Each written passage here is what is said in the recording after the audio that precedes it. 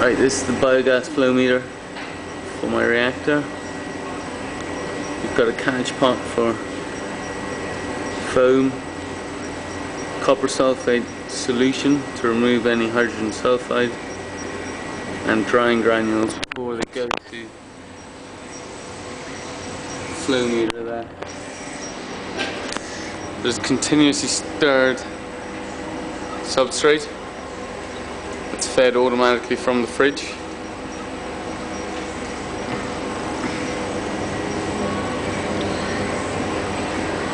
A heater, two pumps, one for automatic feeding and one for continuous stirring, pH and temperature. There's the motor for the fridge, stirring. Here's the reactor. See the substrate rising.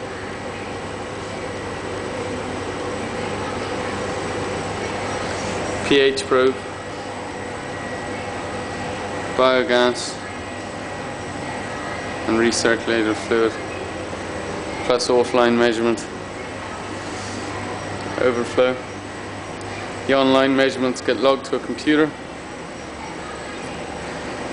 which logs pH, temperature, biogas production. As you can see here, it's currently producing 25.81 milliliters per minute biogas and at 35 degrees 6.67 pH.